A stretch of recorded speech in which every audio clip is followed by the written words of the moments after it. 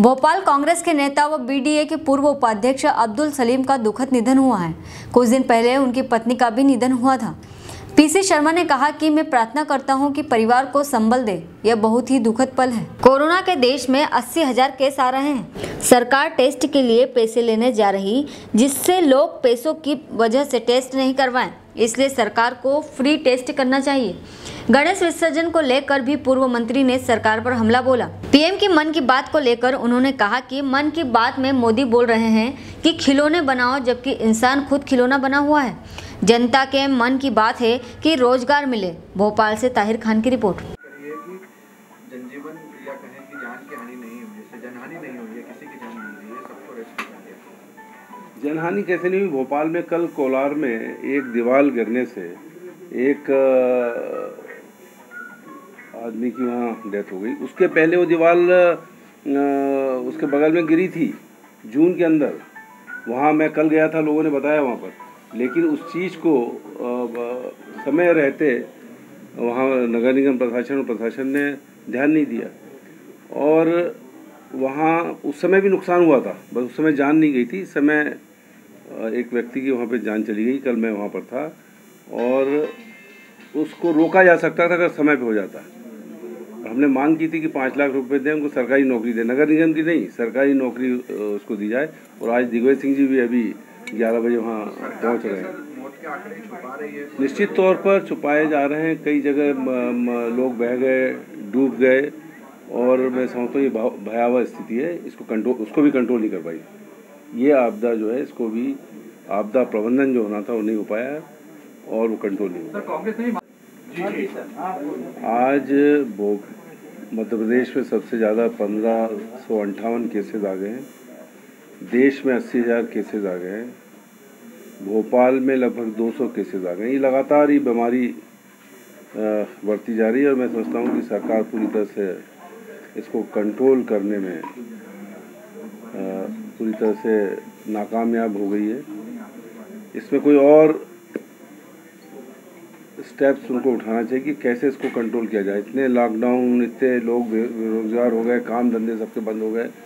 ऊपर से बाढ़ अ, एक तरफ़ जो फ़सल है उनको बीमारियाँ तरह तरह की। कुल मिलाकर पूरा मध्य प्रदेश इसमें ध्वस्त है। और उसमें ये कहा जा रहा है कि ढाई हज़ार रुपये कोरोना टेस्ट के देना पड़ेंगे लोगों को जो कराएँगे।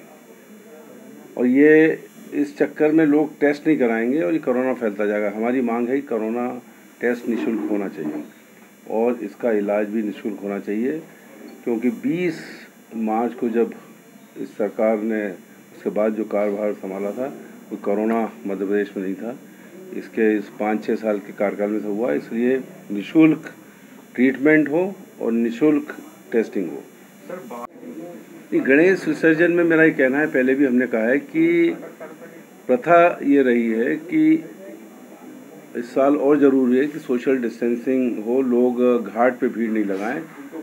तो अभी डोल ग्यारस पे क्या हुआ था? उन्हें एक कचरे की गाड़ी रख दी थी और एक बैनर लगा दिया। भाई उसमें कौन रखेगा?